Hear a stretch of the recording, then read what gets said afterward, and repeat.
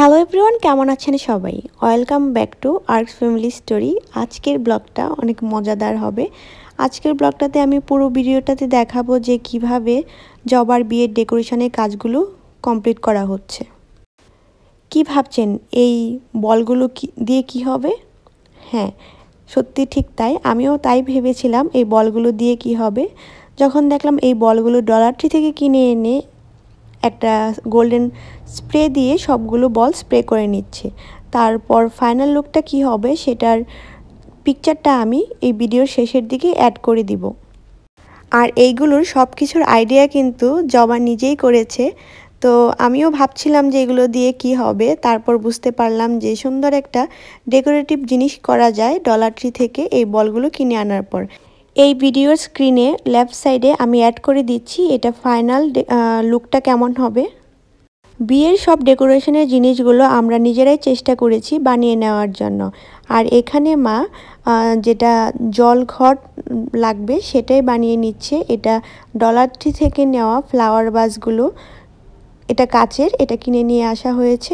এভাবে পাঁচটা কিনে নিয়ে আসা হয়েছে। তো এখানে সাদা রং করে মা এবার আর্ট করে নিচ্ছে। রং করার পর কিন্তু বোঝাই যাচ্ছে না এটা কোনো একটা কাচের পাত্র। জলগটগুলি যেহেতু কালারফুল হলে ভালো হয়, তাই এত কালার কিনে আনা সম্ভব না। তাই মা নেল পালিশ দিয়ে সব কিছু কালার করে নিচ্ছে। যেহেতু একবারের জন্যই হবে, তাই জলে ভিজালেও এগুলোর কালার উঠবে না। তাই শর্টকাট করেই এভাবেই আইডিয়াটা বের করা হয়েছে রং করার জন্য। আর এখানে শুধু সাদা রংটা ইউজ করা হয়েছে ওয়াটারপ্রুফ যেটা হোম ডিপো থেকে কিনা হয়েছে। বাংলাদেশে থাকলে হয়তো বা মাটির কলস কিনে আনা হতো, সেটাকে আবার সবাই মিলে আর এরকম ডিজাইন করা হতো। যেহেতু এখানে সেই অপশানটা নেই, কিছু করার নেই, আর এত স্টিলের জিনিস কেনাটাও সম্ভব না, তাই ডলারটি থেকে এই এক টাকা দামের ফ্লাওয়ার বাজি কিন্তু এখন আমাদের জন্য বড় কাজ করছে। এই জলগটগুলোর ফাইনাল লুকটা আমি স্ক্রিনের লেফট সাইডে অ্যাড করে দিব। তখন বোঝা যাবে যে এটা আসলে দেখতে কেমন হয়েছিল। খুব সুন্দর একটা আইডিয়া কিন্তু এটা। জলঘট বানানোর কাজ শেষ করার পর বিয়ের পিড়ি বানানোর কাজ চলছে। ঠিক সেম ওয়েতে এখানে সাইন পেন ব্যবহার করে, করা হচ্ছে আর্ট করার জন্য আর হোয়াইট রঙটা ব্যবহার করে হয়েছে ওয়াটারপ্রুফ তারপর পুরো ডিজাইনটা করার পর এখানে ওয়াটারপ্রুফ একটা ক্লিয়ার যে কালারটা থাকে সেটাই ব্যবহার করা হবে।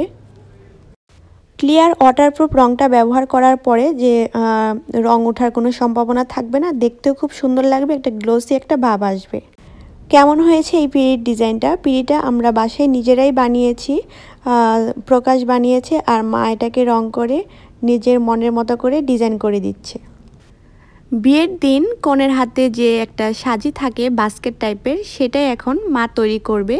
এই যে ফেক ফ্লাওয়ারগুলো এগুলো সিন থেকে অর্ডার করা হয়েছে আর এই বাস্কেটটা ডলার ট্রি থেকে কিনে আনা হয়েছে। এগুলো দিয়েই মা বিয়ের সাজিটা বানাবে। আর এই ফ্লাওয়ারগুলো বাস্কেটে বসানোর জন্য এখানে গ্লু গানটা ব্যবহার করা হয়েছে। খুব সুন্দরভাবে সেট করা হয়েছিল। আর বাস্কেটটাও বেশ কালারফুলভাবে চুজ করা হয়েছিল যেন দেখতেও বেশ একটু সুন্দর লাগে। এরকম ছোটোখাটো অনেক জিনিসই আমরা নিজেরাই তৈরি করেছি। আই মিন আমার মা তৈরি করেছে আর সব আইডিয়াগুলো ছিল জবার। এই আইডিয়াগুলো কেমন লেগেছে অবশ্যই কমেন্ট বক্সে জানাবেন। এগুলো হয়তো বা খুঁজাখুঁজি করলে বাস্কেটগুলো আমরা রেডিমেডেই পেয়ে যেতাম, কিন্তু মনের মতো কোনো ডিজাইন পেতাম মা মনের মতো করে বাস্কেটগুলো ডিজাইন করে বানিয়েছে। কেমন হয়েছে এই সাজিটা অবশ্যই কমেন্ট বক্সে জানাবেন। আর হ্যাঁ আমার ভিডিওগুলো যদি ভালো লাগে, অবশ্যই সাবস্ক্রাইব করে আমার পাশে থাকবেন। আর পাশে থাকা বেল বাটনটি ক্লিক করে রাখবেন। তাহলে পরবর্তী ভিডিওগুলো আপলোড করলেই আপনি সাথে সাথে নোটিফিকেশান পেয়ে যাবেন। তাহলে আমার ভিডিওগুলো মিস করবেন না। বিয়ের আরও সুন্দর সুন্দর কিছু ব্লগ আসবে, এগুলো কিন্তু মিস করবেন না। খুব সুন্দর হয়েছে বিয়ের বিয়ের ভিডিওগুলো। চেষ্টা করেছি অল্প অল্প করে আপনাদের সাথে শেয়ার করার জন্য। সাজি বানানোর পর কিছু এক্সট্রা ফ্লাওয়ার বেঁচেছিল জবা এই ফ্লাওয়ারগুলো দিয়ে কার্ডবোর্ড দিয়ে সে একটা হলুদের হলুদের বাটিটা রাখার জন্য একটা ট্রে বানিয়েছে। আবার লিখার ছিল হলদি। দেখতে কিন্তু খুব কিউট লাগছিল। এই ছোটোখাটো জিনিসগুলা বাসায় চেষ্টা করেই অল্প খরচেই সুন্দরভাবে তৈরি করা যায়। আজ এই পর্যন্তই। টাটা!